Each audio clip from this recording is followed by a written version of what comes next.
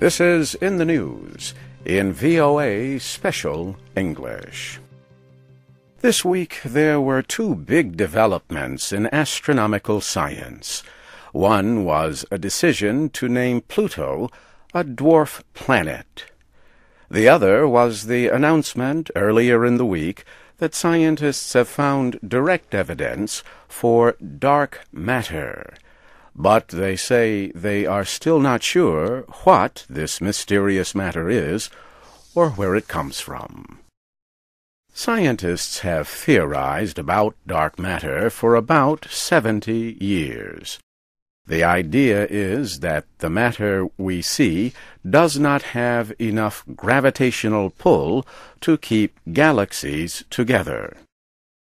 Visible matter has been estimated to represent only about 5% of the universe.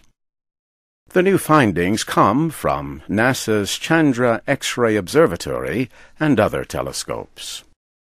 A team of scientists observed a group of galaxies that formed when two galaxy clusters smashed into each other. They call it the bullet cluster. It contains a bullet-shaped cloud of hot gas from a smaller cluster that passed through the hot gas from a larger one.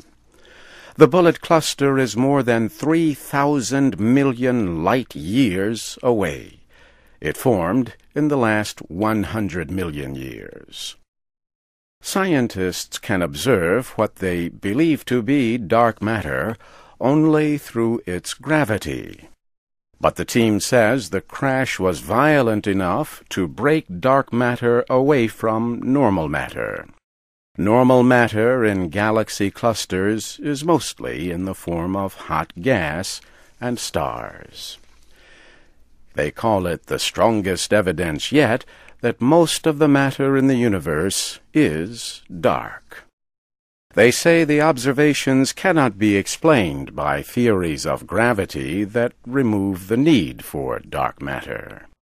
These theories propose that gravity is stronger with huge galaxy clusters than the theories of Isaac Newton or Albert Einstein would suggest. The findings will appear in the Astrophysical Journal Letters. Now on to Pluto. This week, the International Astronomical Union met in Prague in the Czech Republic with the goal to officially define a planet. Scientists voted to set three requirements for a planet. One, it must orbit the Sun. Two, it must have enough mass so that its own gravity has formed it into a nearly round shape. And three, it must have cleared the area of other objects around its orbit. That is where Pluto fails. Its orbit around the Sun crosses paths with Neptune's. American Clyde Tombaugh discovered Pluto in 1930. People have long debated about considering it the ninth planet in our solar system. Now Pluto will be called a dwarf planet along with at least two others, Xena and Ceres. The changes divide astronomers, but supporters say recent discoveries of large objects in the outer solar system require them.